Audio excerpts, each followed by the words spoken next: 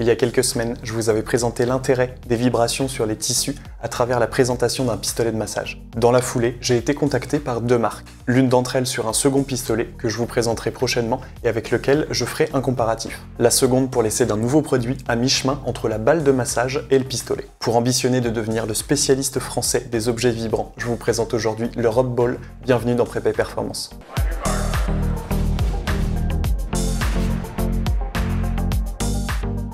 Le marketing actuel surfe sur la vague des outils vibrants pour l'entraînement et le bien-être. Les plateformes vibrantes, pourtant créées il y a plusieurs décennies, ont actuellement le vent en poupe. C'est également le cas des pistolets de massage qui fleurissent dans les magasins et sur le net. C'est dans cette mouvance que le Rob Ball a vu le jour. Cet instrument s'est basé à la fois sur les outils d'automassage, comme les rouleaux, les balles, etc., et la technologie de vibration. Ainsi, nous avons entre les mains un mix de ces deux objets. Est-ce qu'il y a une réelle plus-value à l'usage? C'est ce que nous allons essayer de voir à travers cette vidéo. Je remercie évidemment la société qui commercialise le Rob Ball de nous avoir envoyé un échantillon presse pour ce test. Le Rob Ball est expédié dans un carton assez petit, mais sans pochette de protection.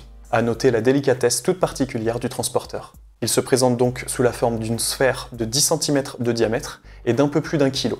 En termes de qualité de fabrication, l'outil a l'air très solide. Le poids en main peut surprendre parce que l'on ne s'attend pas à ce que ce soit aussi lourd, mais c'est plutôt rassurant et donne moins l'impression d'un gadget low cost. On y trouve un bouton unique permettant l'allumage et le réglage de l'intensité. Le Rob Ball propose trois niveaux d'intensité. Il est également recouvert en grande partie d'une surface antidérapante agréable au toucher et à l'appréhension. De l'autre côté, on retrouve une surface plane permettant de le poser, au milieu de laquelle se trouve l'insert du chargeur. Il existe en deux coloris, noir et turquoise.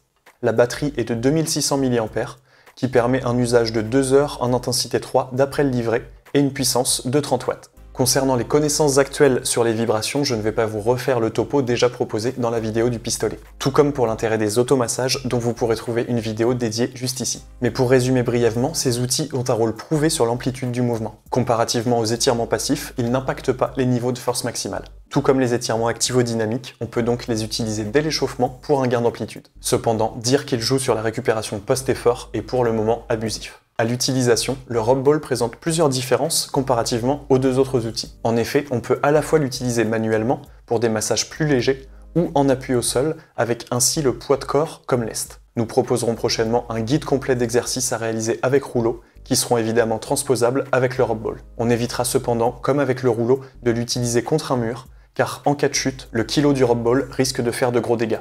Il propose dans son livret un guide d'utilisation avec 8 positions proposées. C'est une première approche intéressante pour les personnes qui découvriraient ce type d'outil. Également, sur le site internet de Rob on peut trouver quelques articles descriptifs notamment des intérêts de la vibration ou encore la comparaison entre pistolet de massage et balle vibrante. Une communication assez pertinente, même si évidemment elle sera orientée sur les bénéfices du produit. Un point que je trouve très intéressant avec le Rob Ball, c'est le fait de pouvoir lier la détente musculaire à la vibration. En effet, avec le pistolet, il est difficile de pouvoir à la fois se relâcher et profiter des vibrations. Soit il s'agit d'avoir la chance d'avoir quelqu'un pour se faire masser, ou alors on cherchera des positions le plus relâchées possible, mais on ne le sera jamais totalement. Ici, en trouvant les positions adéquates, on va pouvoir chercher à se relaxer au maximum pour que nos muscles soient totalement relâchés au moment du massage. Le premier point négatif que j'y ai trouvé, c'est l'ergonomie de l'outil. Il est important d'être assez précis dans l'utilisation du rob ball. En effet, il m'est arrivé à plusieurs reprises d'éteindre l'outil à l'utilisation parce que la peau venait appuyer sur le bouton d'allumage. Dans la même logique, il peut arriver de glisser sur la face plane qui permet de poser la balle au sol. Ça peut rendre légèrement aléatoire les trajectoires lorsque l'on cherche à longer toute la longueur d'un muscle. Donc un peu de minutie est nécessaire à l'utilisation. Deuxième point négatif, la différence qu'il existe entre la vitesse 1 et la vitesse 2. Que ce soit en termes d'intensité comme de volume sonore, le niveau 1 est très contenu. À partir de la vitesse 2, les vibrations sont très puissantes et sonores. Si la puissance n'est pas un souci et au contraire peut être un vrai plus pour des zones très tendues, le bruit généré est vraiment très conséquent. Ce deuxième point négatif découle automatiquement sur cette troisième précision, c'est l'utilisation à la main. En effet, les mouvements proposés avec une pression manuelle sont réalisables à la vitesse 1, mais deviennent très désagréables à partir de la vitesse 2. Les vibrations dans la main, le poignet, deviennent vraiment trop conséquentes. Sur le pistolet, le manche permet de limiter ces vibrations. Ici, difficile à mon sens de tenir plusieurs minutes dans ces conditions. Après avoir essayé à plusieurs reprises le Rob Ball, je pense que c'est un bon complément au pistolet de massage et pas un concurrent. L'aspect de la relaxation post-effort est très intéressant parce que l'on va pouvoir l'utiliser totalement relâché. Qui plus est, à l'échauffement, on s'approchera assez près de l'utilisation d'un rouleau avec le bénéfice des vibrations supplémentaires. Dans mon utilisation personnelle de ces différents outils, je proposerai les usages suivants. Avant l'entraînement, donc en échauffement, que l'on soit à deux ou seul, les trois outils vont être facilement utilisables. Tout comme pour les étirements, on sera plutôt sur des postures érigées ou des mouvements en gainage pour favoriser l'activation. Post-effort pour favoriser la relaxation cette fois, j'aurais tendance à conseiller le pistolet si l'on est deux pour pouvoir l'utiliser couché et viser une détente maximale.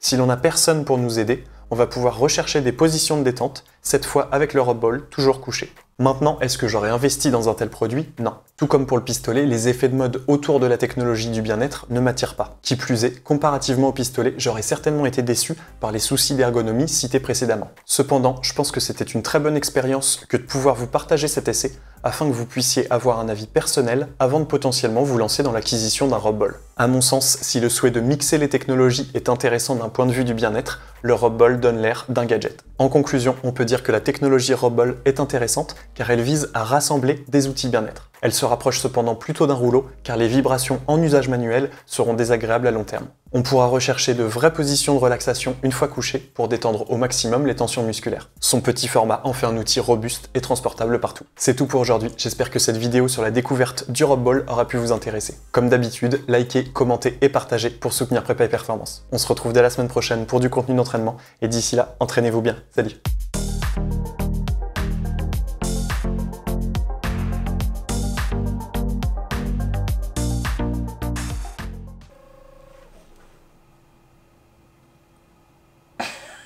Non, mais Jeanne, non.